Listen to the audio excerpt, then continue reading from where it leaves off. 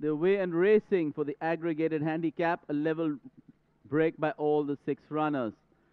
It slowly run for the start and it continues to be on the inside, Apna Time Aega and Namiki. Apna Time Aega now goes on to lead by about a length good. On the outside is Avellino. Then there's Namiki. Running fourth is Ghost with Kimaya on the inside and a close last is Resolute. They go into the mist here as it gets a lot lot murkier as it's difficult to see as they pass the 1800 meter marker and it continues to be in a start to finish mission.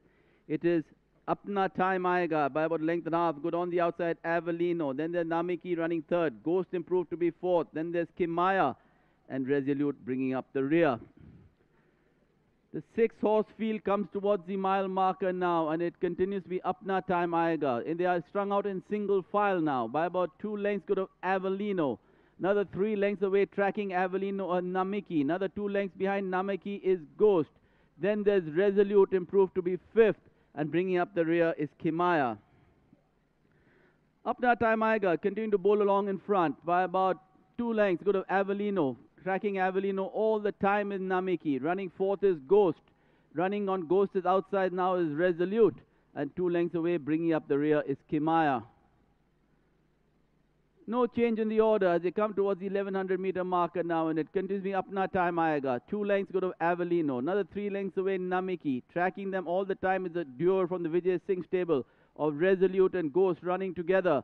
And a close last is Kimaya. Not really quickened it up very much, but it continues to be Apna Time with the 800 to run, with Avellino running second all the time, running third in Namiki.